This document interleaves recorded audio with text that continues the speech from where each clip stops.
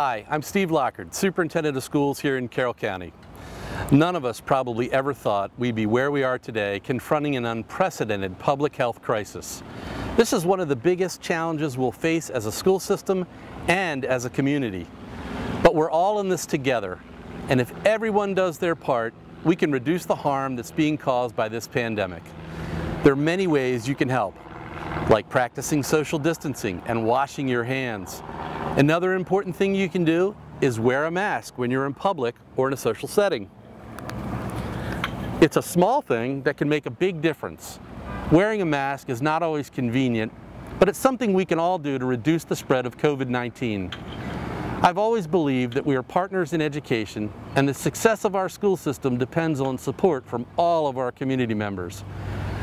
We all need to do our part to keep our students, teachers, employees, and all of Carroll County safe.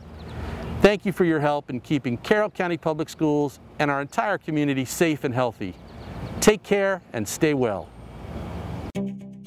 Slowing the spread of COVID 19 in Carroll County can't be done by just one individual, organization, or group. It takes all of us working together to protect each other. Let's move Carroll forward.